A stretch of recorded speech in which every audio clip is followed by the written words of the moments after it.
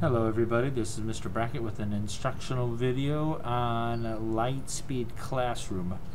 Lightspeed Classroom is a tool that we had uh, a few years back um, and then we dropped the licensing um, but then uh, had a number of staff members ask for a tool like this and so central office um, repurchased the licensing and now this video should help you uh, get up and running with Lightspeed Classroom.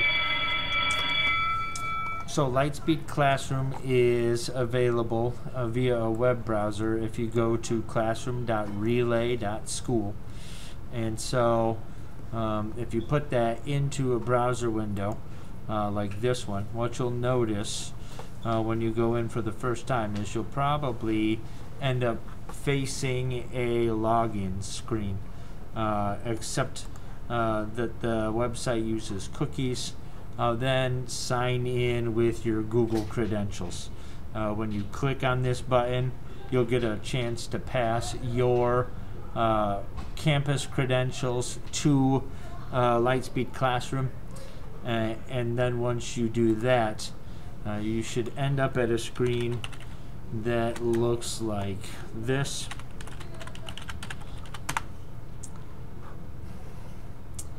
Um, and so this video will just very quickly get you oriented to what it is that you're seeing here. Uh, you see classroom up in the upper left hand corner and then beneath it you'll see a list of classes. Uh, these are classes that uh, you have set up Google Classrooms for. Um, the video I sent out previously that said uh, make sure you get your Google Classrooms in order uh, this is why. Uh, Lightspeed Classroom pulls information from Google Classroom, and so uh, these are the Google Classrooms that I have set up. Uh, if you have a class that you're not seeing uh, when you hit this drop-down menu, it's because you don't have a Google Classroom set up for that, since Lightspeed's pulling from Google Classroom.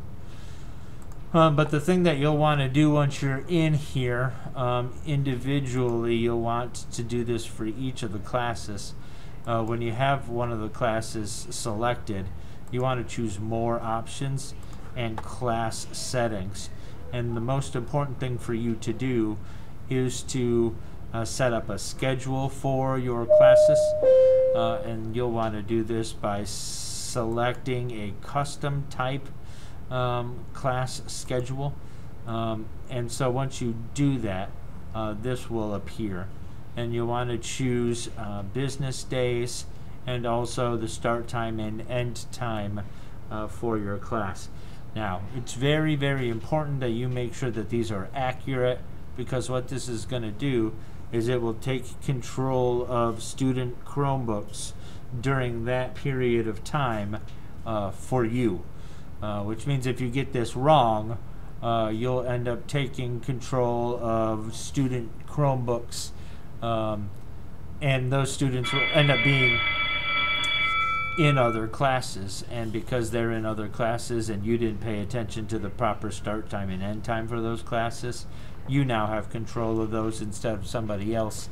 And then I'll have to come in and break up the fight, and I don't want to do that. Um, so just make sure that you select a proper schedule Monday through Friday. Start times and end times need to be accurate. Uh, once you click save on that, uh, then those settings will be in place.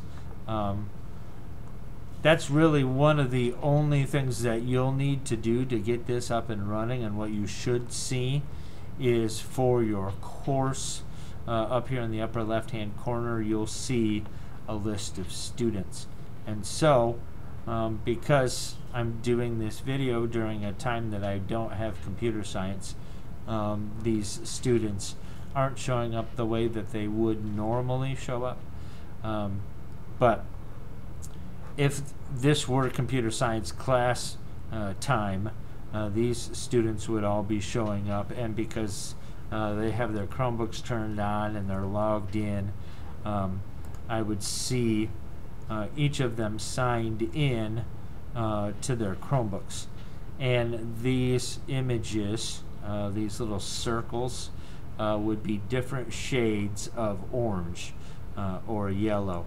Uh, if they're yellow, it means that the students are accessing very few websites um, while they're online.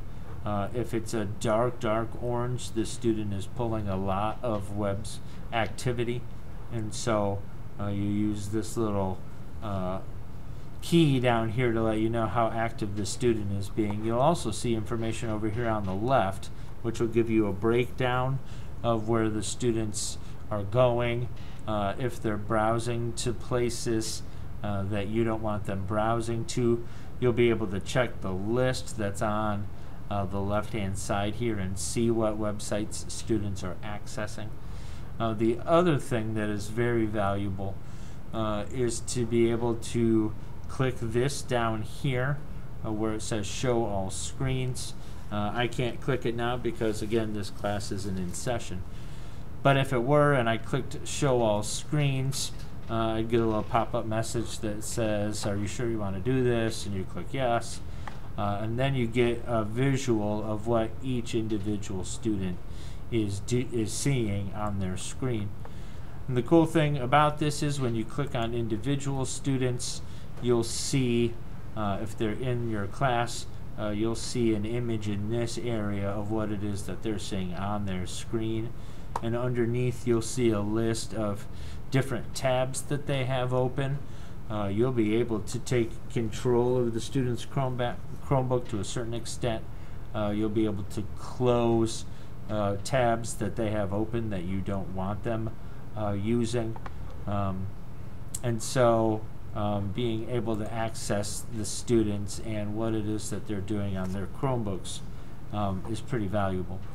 And so um, you'll also, once a class is in session, you could lock the screens of the Chromebooks if you need students to be paying attention to you and instead they're all staring at their Chromebooks. Uh, you could lock those student Chromebook screens um, or you could share a screen. Uh, if you want students to see what's on your screen, you could click share screen and push uh, what it is that you're seeing on your screen uh, down to those students.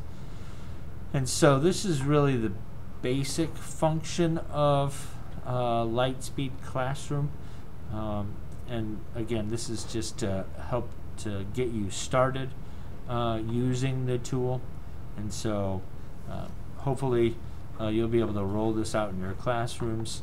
Uh, and if you have any questions, uh, feel free to reach out and let me know. Thanks.